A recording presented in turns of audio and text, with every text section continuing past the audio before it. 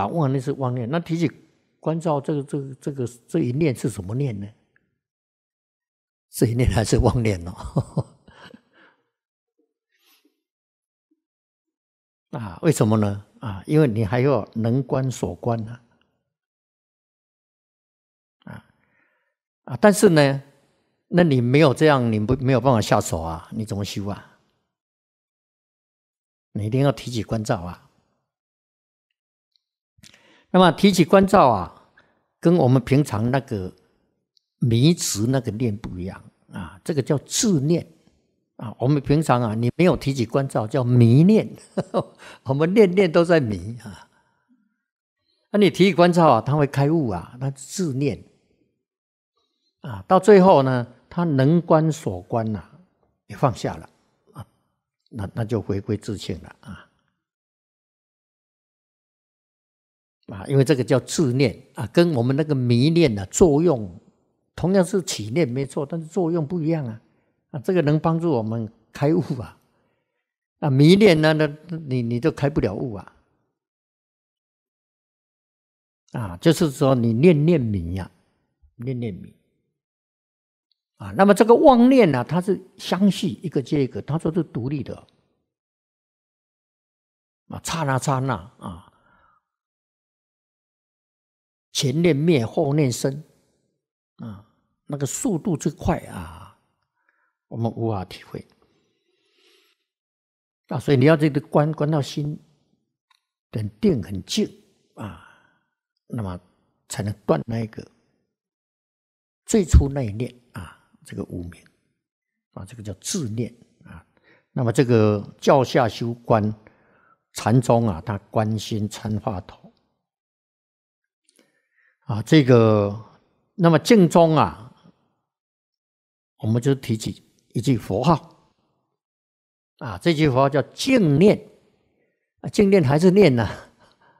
啊，我们念句起心动念，念句阿弥陀，还是妄念？但是这这个妄念是属于静念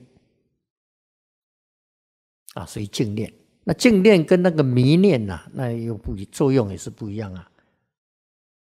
啊，那个一一般法门叫自念啊，他们关照智慧啊，提起那个念头啊，自念。那我们静中呢，就是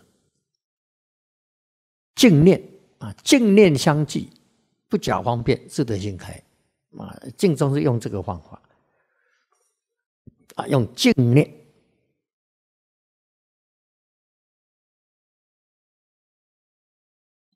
啊，所以用这个自念跟净念啊，代替那些妄念呐。啊，所以那个作用不一样啊。啊，那么念佛啊，你看中峰时开始啊，念到人所两忘啊，道家之说不容再举，洁净之词何劳挂齿啊？那个呢？那这个是方便就比那个自念更方便哦。啊，那个，所以我们为什么要讲这些？你去分析呀，啊，知道说，哎，这个修学的原理原则啊，然后我们才认识啊，哦，原来念佛这个方法，它是最方便啊，而且暗合道妙啊，暗合道妙。啊，不假方便啊，这自得心开啊，它自然就开了。啊，那么我们越深入的认识啊，我们念佛的信心呢就会越增长了，就会越恳切的念了。啊，现在为什么啊啊念念念念就就就就没有了呢？因为认识还不够，还要加强啊。啊，所以这个这个直指啊啊这一段呢，这很直指的话呢，只是直指现前一念呢，昏迷导破心体本来如此啊啊，就是说一切众生现前一念心性啊，的离世俱绝百灰了啊，离诸细论了，不可分别了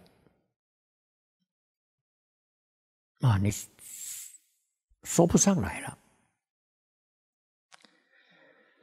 啊，你只能用悟的啊，说不上来。这个一念心性也是这样的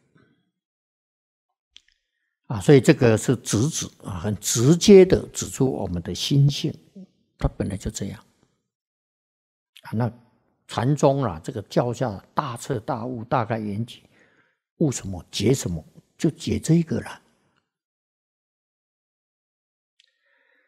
啊，故云一切众生皆正连结啊！啊，所以一切众生呢，他他他本来就是缘结啊！啊，又又云呐，如来成正觉时啊，悉见一切众生成正觉也。啊，如来成佛的时候，看到一切众生，那都是佛啊！啊，所以佛看一切众生都是佛啊！啊，我们看众生看佛也是众生呐，那就是迷雾了啊，迷雾的关系。